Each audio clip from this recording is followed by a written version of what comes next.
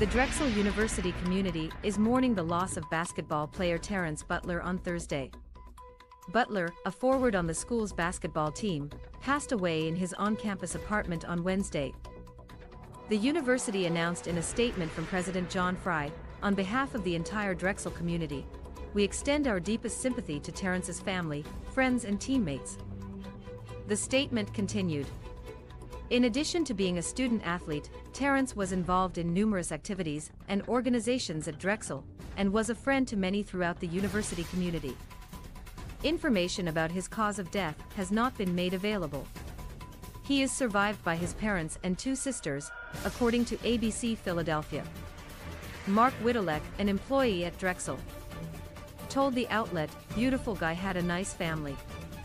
Everybody knew him, everybody on campus knew who he was, and he would treat everybody just the same. You know what I mean, good guy. Family oriented. Butler was set to begin his junior year at Drexel's College of Engineering before his death.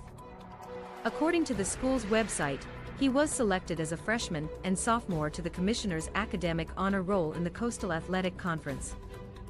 Drexel University has made mental health and counseling resources available to its students as the community mourns Butler. Prior to Drexel, he played basketball at Bishop McNamara High School in Maryland. His former high school team released a statement on Twitter now known as X Remembering Butler. Our coaching staff and school community express our sincere condolences to the Butler family. Class of 21.